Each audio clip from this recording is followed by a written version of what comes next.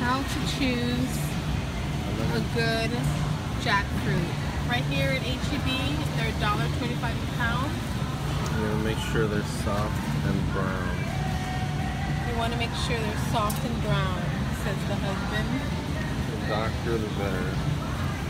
The darker the better. The darker the berry, the sweeter the juice.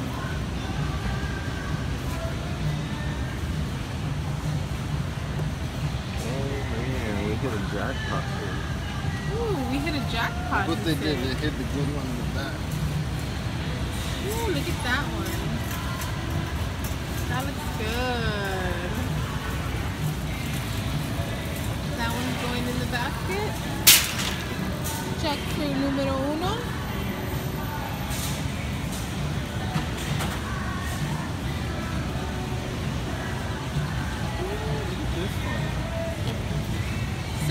Tell us again what to look for?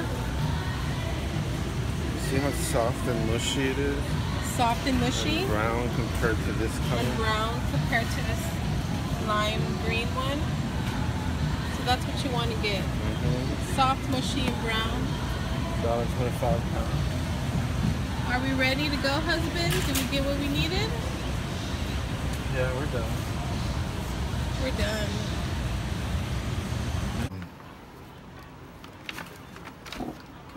Show us how to cut a jackfruit. What type of knife is the best knife to use? I use what I have, which is one of these. What is that? Just a serrated Forever blade. sharp. Yeah, See how uh, quickly that knife cut into there? mm, Smell it. Mm-hmm. Bubble gum. Yeah, that's a ripe one. What I do is I cut it in half again. I just wanted to taste it.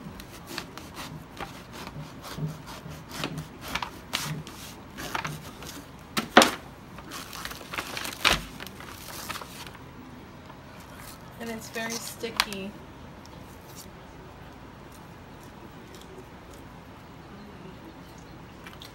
Mm-hmm. Wow, Sweet. Delicious. that's really good find. It's literally like if you're eating candy. It smells like roses. Roses. I see bubblegum. The aroma. See how wet it is? That's the stickiness of it. It's like glue.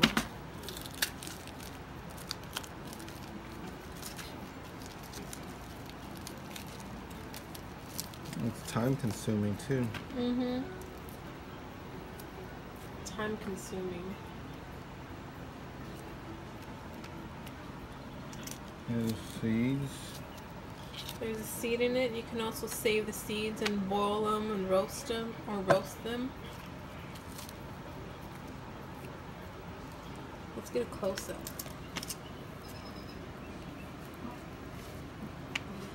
Mmm, look how pretty that is. It gets a lot riper than that too. Mm-hmm. This is semi-ripe, but it's still really good and really sweet.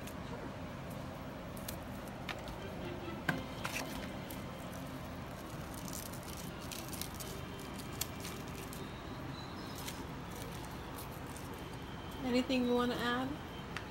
No, I'm not too good at cutting this, but you did in good. time I'll get better. You did good.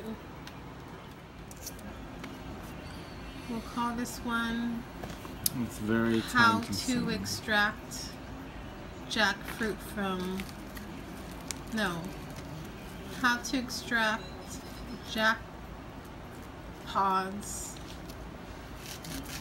It's very time consuming. well what do you call it Playing with the jackfruit.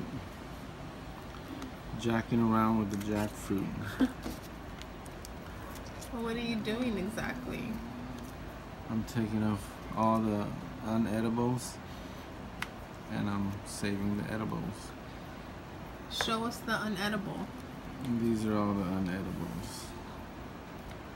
And to me they smell like a nice flowery garden you actually can put this in a glass jar and leave them in your living room It smell. and it just make your living Oh room smell god, like it flowers smells so good. Mm-mm. and the seeds you can actually let them dry out and boil them or let them dry out and roast them Roast them. eat them like How peanuts are you gonna cook them today? Those are the seeds right there.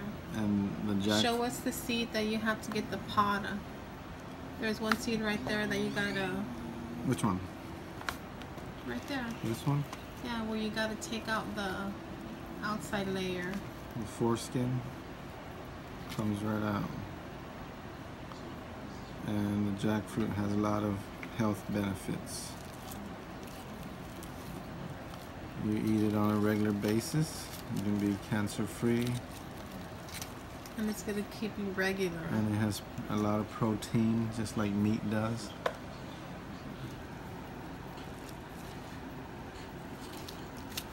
and How does it feel in your hand?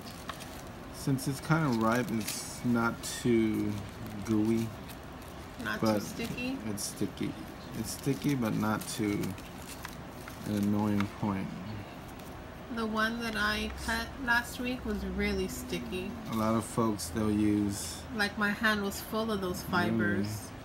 a lot of folks they'll use oil on a regular knife but if you get a serrated sharp teeth knife it'll do the job A good I don't want- serrated, I a don't good want serrated oil. knife.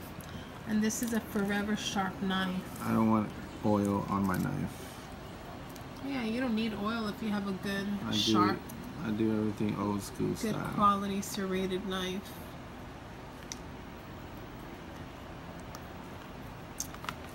not good tastes good but you can't eat that No, you can't eat the fibers. Show us what you can't eat.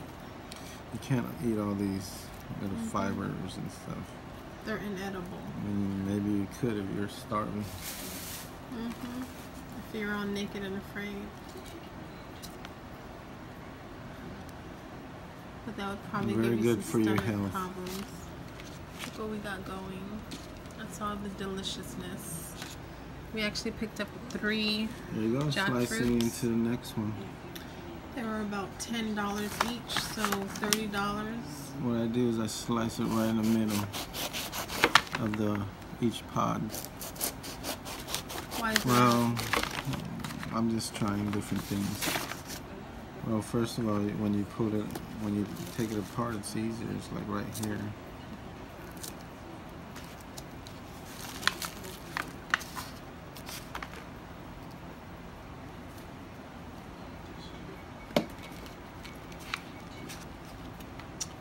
You can slice this part off. And you also have a paper bag for easy cleanup, huh? Yep.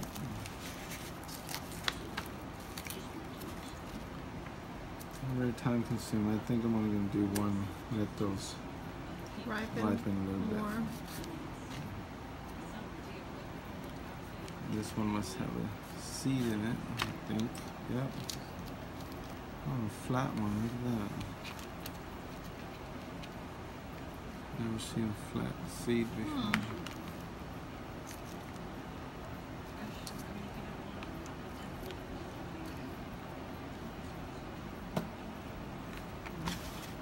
Once you have one, you can't stop. You just want another one. That's how these fruits are. And you gotta make sure they're ripe. So if you never had a jackfruit, this is what a jackfruit is. They call it the jack of all fruits because of its many health benefits. And you get every good bit of it. You don't want to waste it because it's kind of expensive. $1.25 a pound. So we got about uh, thirty dollars worth of jackfruit. That's the cheapest we've This ever is thirty found. dollars worth of jackfruit. And it's the cheapest we've ever found. If you go to Asian stores, they're like two three dollars a pound. Right, they're more expensive at the Asian markets. They poke your eyes out. So go to HEB or your local market. Hopefully, the local market will have some. And these these um jackfruits, they're from Mexico. right? See right here, These are from Mexico. product of Mexico from Car Farms, But they're originated in Southeast Asia. and it says, what does it say? It's all about fresh produce.